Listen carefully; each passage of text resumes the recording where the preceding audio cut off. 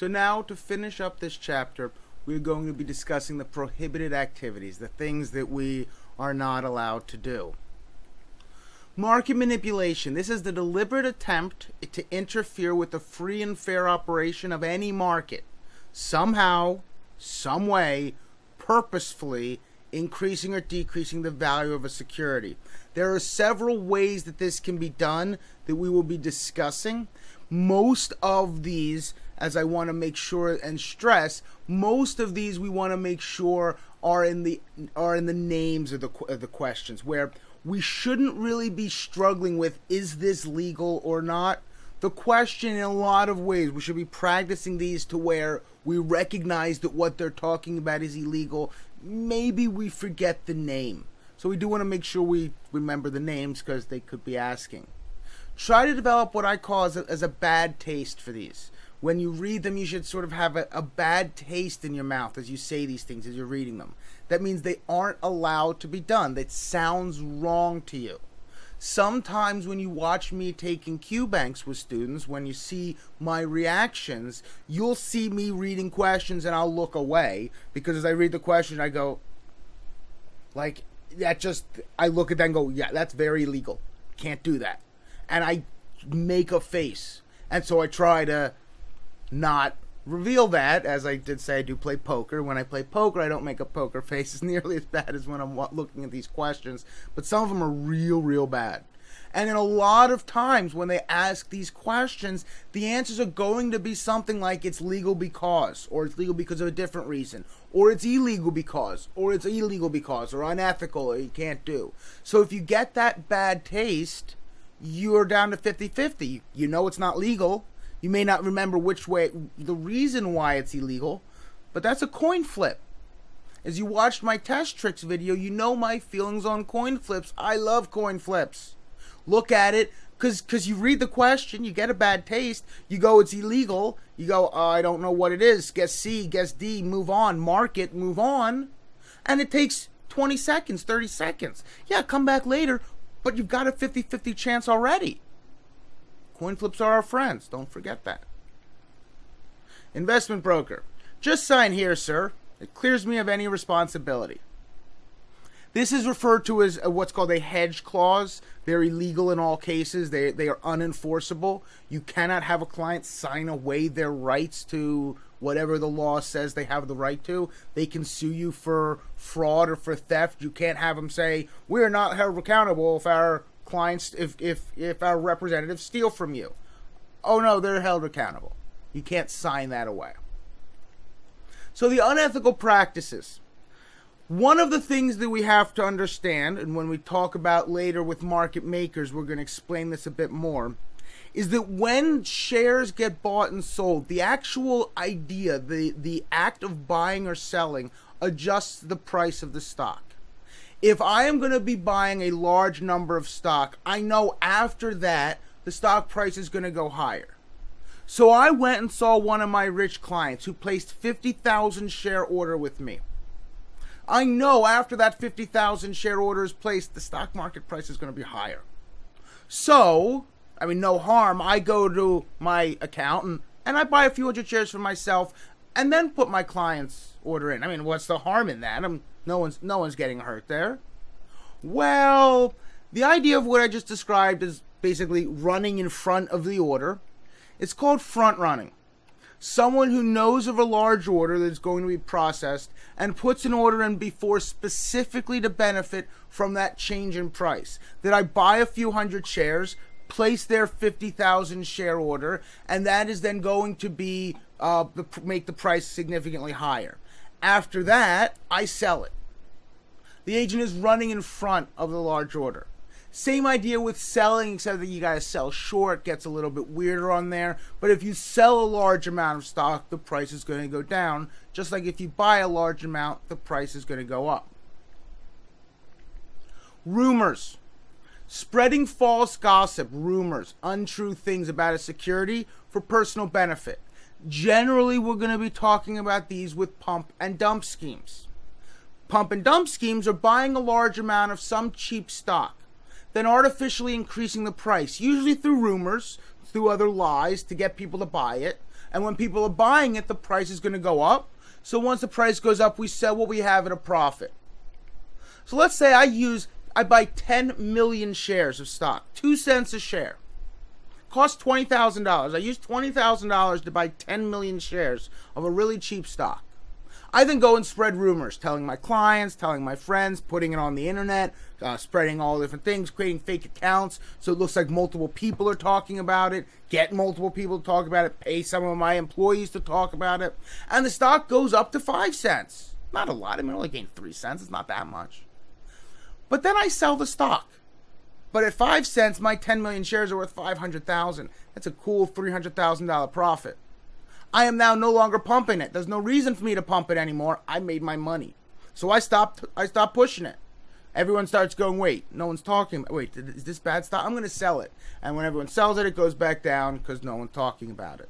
And I just artificially made money. If you go and look up pump and dump and cryptocurrency, you can see that there are people that are going and pumping and dumping cryptocurrencies. I saw a commercial for an organization that did specifically that. Cryptocurrencies are not regulated. There's nothing technically illegal about that other than talk about a bad taste in one's mouth. Marking the open or the close. The idea of marking the close or marking the open, because uh, they're very related here, is that market manipulation of the price. If we buy a security at the very end of a trading day at a higher price than the current market value, it's going to make the current the, the, the, the close price look more to artificially raise the closing price. Same idea with marking the open, placing an order at a slightly higher price or sale orders the lower price right at the beginning of the market so it looks like the opening price is a different price than it actually would have been. Now, the marking the close is generally used for if you're in a short position for what are like margin calls and uh, maintenance calls, basically. You don't really need to know why they're done, but you need to understand that marking the close or the open is designed to artificially change what the price should be of that uh, security or what it should look like. Backing away. Market makers, which we're going to, going to discuss in more detail in the chapter on people, are um, institutions that promise to always be willing to buy and sell a security. They will quote a price, they will quote a bid and an ask, they will quote what they're willing to, to pay an investor for it, what they're willing to pay, what they're willing to sell to an investor at, and they're always willing to publish them. Backing away is them not honoring one of those quotes. They publish a quote, someone says we want it, and they go, oh, wait, that was a mistake. Very, very bad. I mean, they lose, I think it's 30 days or something where they can't be a market maker if they do that. These things are serious. The penalties are quite severe if they're a little bit off. The reason market makers exist is without them, the markets wouldn't work very well. They are integral and vital to the free flow of market that, that we have and the ease of buy and sell that we enjoy.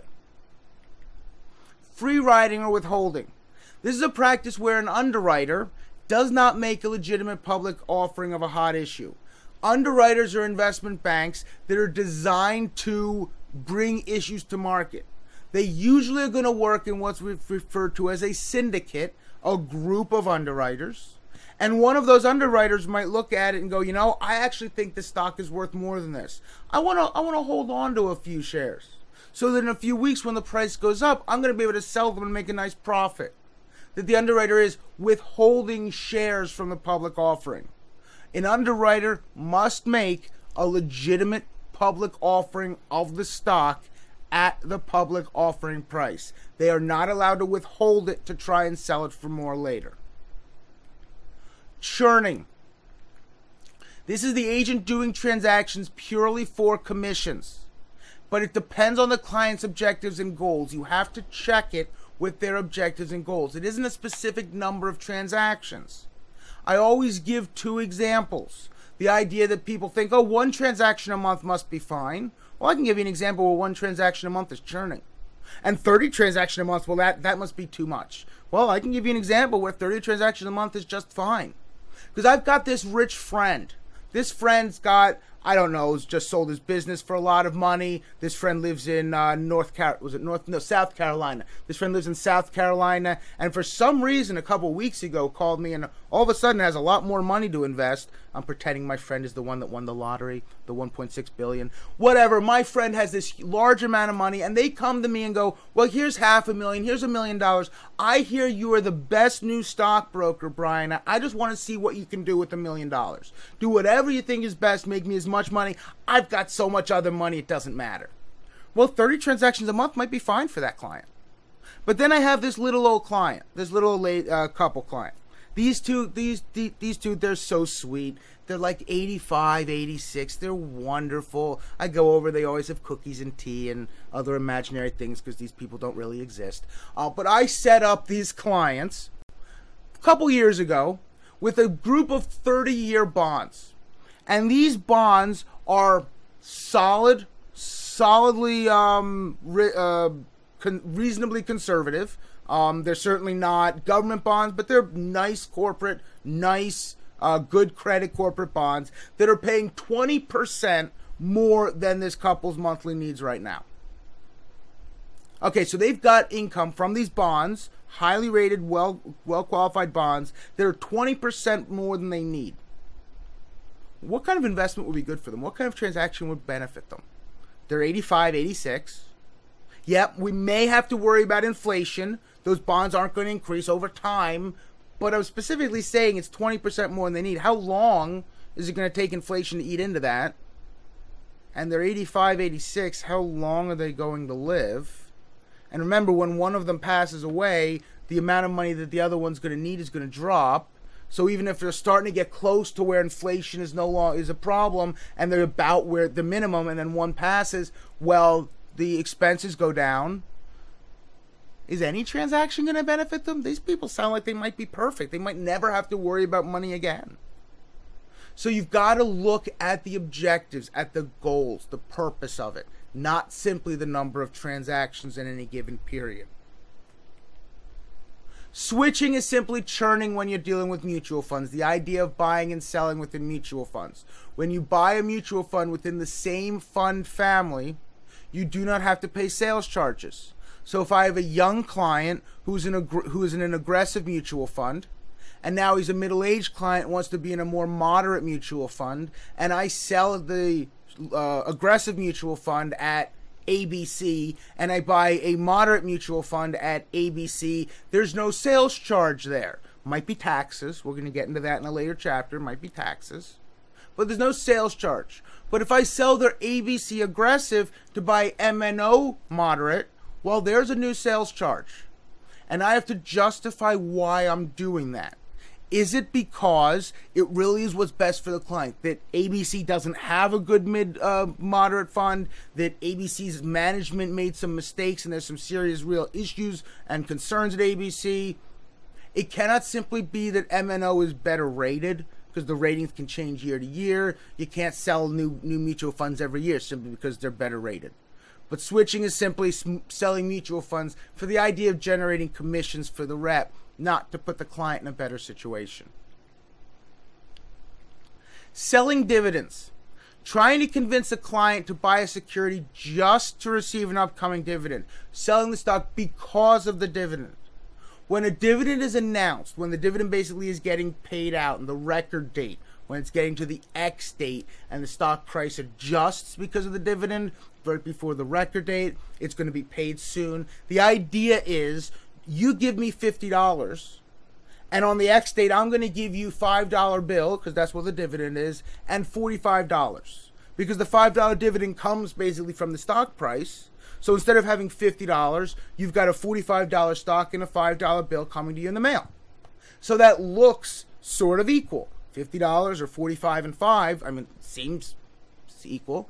Whereas if you wait until after the dividend, you're going to be doing 45 for a $45 stock, which clearly is equal.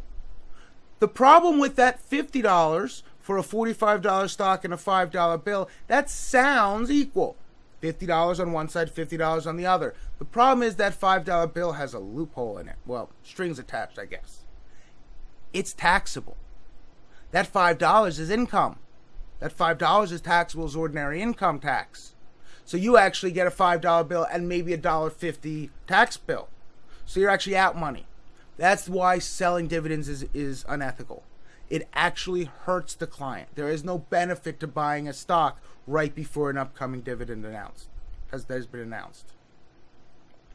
Breakpoint sale is selling an investment just below a breakpoint must always notify the clients of the breakpoint sale, the, uh, the, uh, the breakpoints available. If you look at the breakpoint ch uh, chart, at the tables, you'll see that if, I, if someone invests a dollar less than a breakpoint, they're going to be paying more in sales charges than if they invested that dollar more. If the breakpoint's at 25,000 and they're giving me $24,999, they're going to be from the example that we use, they're going to have a five percent sales charge on the twenty four nine nine nine, and then have I believe it was four and a quarter at the twenty five thousand since I, as a rep, get paid off of that commission, off that sales charge, the higher the sales charge, the more that is collected, the more I'm going to get. So I actually have a vested interest in the client giving me less than a breakpoint, just a little bit though. But we must notify the clients of a breakpoint sale. We cannot, we cannot recommend that they borrow. We can't suggest they take a mortgage or they, they, they take a car loan or something. But letters of intent could be used the idea of they have 13 months to meet it. If they're giving me 24,000 today, maybe they don't have another 1,000 today, but do they have another 1,000 within 13 months?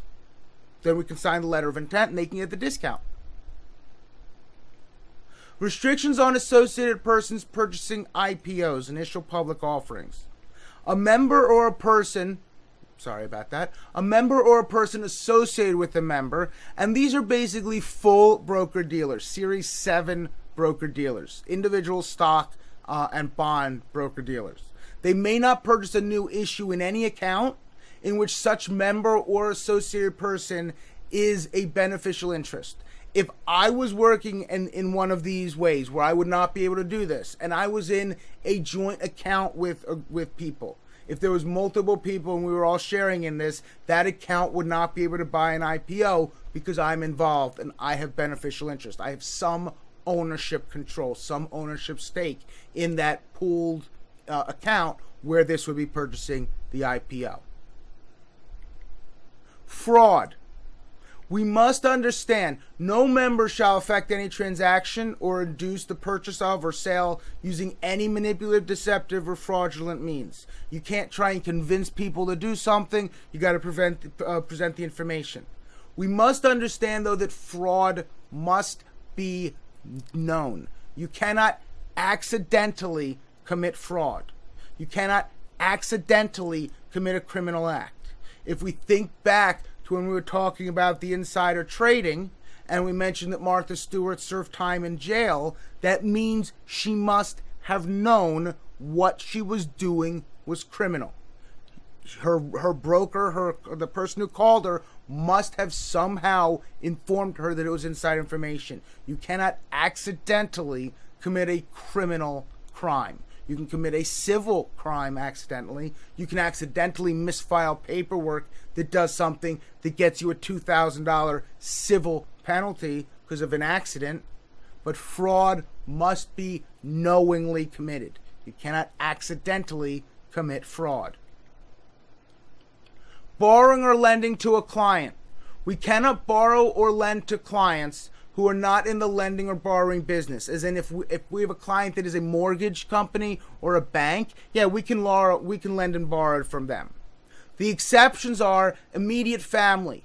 You can lend and borrow to clients that are your parents or your children. Outside long term friends. My long term friend from high school, where we've been friends for 10 or 20 years, and a few years ago he, he became a client. We're friends before that outside business partners requiring lending between them. Jeff and I happen to be working with the same broker dealer, but if we didn't, I would be able to lend to him if he was even if he was a client of mine. And other reps registered with the same member firm. Understand there, there understand there is a difference between FINRA rules and house rules.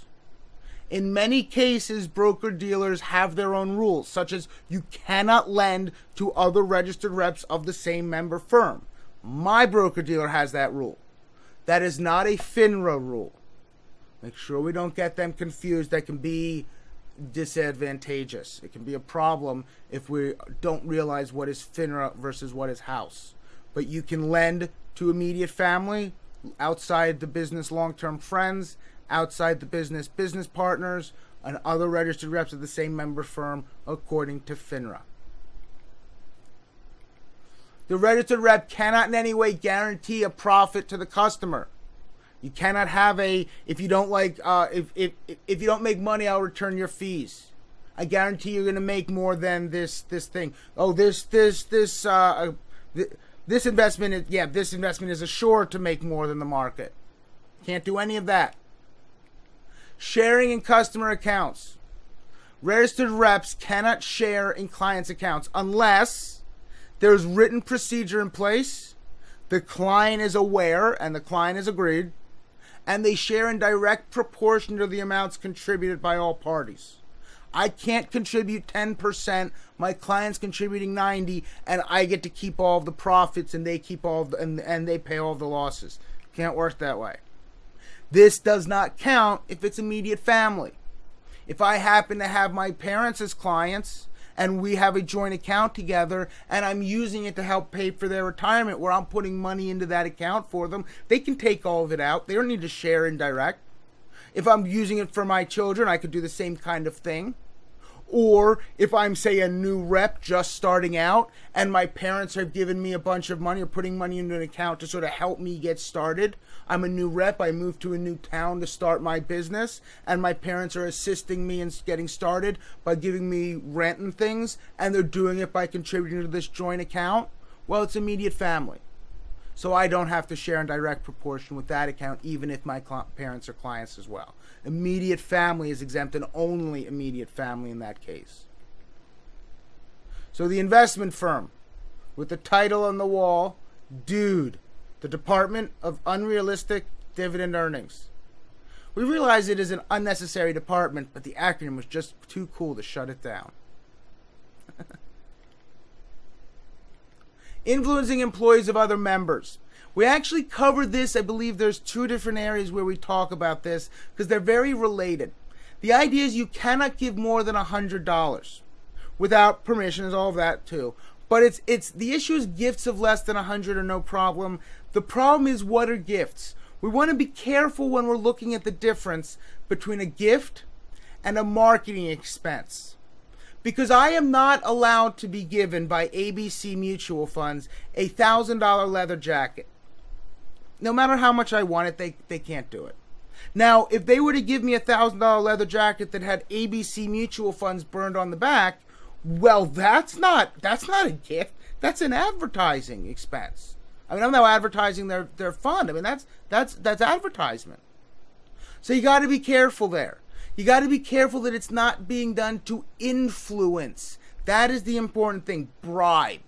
You could think of it as bribery, basically. Maybe not to the sort of the negative connotations that bribery has, but that's what they're sort of worried about. The fact, am I making recommendations to my client to make to, to purchase this investment because it's what's best for the client, or because this this person this um firm over here happens to be giving me a couple hundred bucks, buying me a lot of wine, or taking me out to dinner every week. Is that why I'm selling this investment? Because I want to keep that? Because I'm going to get this jacket, I'm going to get this cruise, I'm going to get this car? Or is it because it's what's best for the client? When you're dealing with this as well, make sure that if, if it's a larger amount, if it's above 100, it still could be allowed. Again, if it's a marketing expense, if it's an infrequent dinner or trip to the theater or stadium, uh, some kind of sporting event or musical event or something like that, infrequent and occasional, not a problem. Activities of unregistered persons. They are pro- we are prohibited from paying commissions to unregistered persons. They must be a natural person. Anyone receiving securities commissions must be a natural person. No S corps, no LLCs, no C corps, certainly no C corps, no um, limited partnerships, none of that. It must be a natural person. Unregistered persons are also not allowed to solicit customers and they cannot take orders. I had a student uh, about a year ago, actually, who came to me to get to get trained in passing these licenses, not because they wanted to be an advisor, not because they wanted to be a rep. Mm-mm, not at all. They were very happy being, I believe, an estate attorney or an accountant. I forget which one they were. Very happy doing that. And they had a their, their certified financial planner who's been helping them with their personal investments and things came up with the idea of hey, you know, if you got your license and were registered at my broker dealer and you referred clients to me, I could pay you commissions because then we're both registered at the same company. And that is why he went and became a registered rep, just so that he could be registered at the same company, just so that he could uh, share in the commissions of his referrals. Financial exploitation of seniors. These rules permit members to place temporary holds on disbursements of funds or securities from accounts of potentially exploitable seniors where there's reasonable belief of financial exploitation. It requires members to make reasonable efforts to obtain the name and contact information for a trusted contact person. If one of your one of your elder uh, clients all of a sudden has this new aide that's coming everywhere with them, and they're trying to take out money, and they seem to be because the aide wants them to, you may want to report that. You need to work on that. You may need to have a system where you you have to contact the kids or something like that falsifying or withholding documents, signatures of convenience. These are basically blank forms with maybe blank dates, but with the signatures. Allow easy file filling out later and filing. Very unethical, not allowed. The idea of me going to a client going, I, I understand you're having trouble with beneficiary decisions. How about you just sign this this down here? I'll date it later. And just email me who you want me to put in here and I'll fill it out and then submit it. Oh no no no no no. Can't do that. No, and nothing can be blank signed. If there's a signature, it must have been filled out first. Generally, the signature is the last thing that's done. Responding to regulatory requests. Any regulatory request must be responded to promptly. I've always loved that, promptly. When they don't give specific times, they just say promptly, soon. Gotta do it quickly. Really? Can't be a little more specific than that? That's a little weird. But that's a promptly one. I think I can get as a tax credit if we start cooking the books with solar heat. well, that brings us to the end of this unit, which is the end of this chapter. I hope you learned a lot in this chapter. This is dealing with the laws and things like that, which are important, which are definitely tested. Make sure that you do go back over anything that you had questions with. Watch the animations, read the additional posts. If you have any questions, please reach out uh, via my email. I'll be glad to get back to you. Hope you enjoyed this. Keep up the good work, and I'll see you in the next chapter shortly.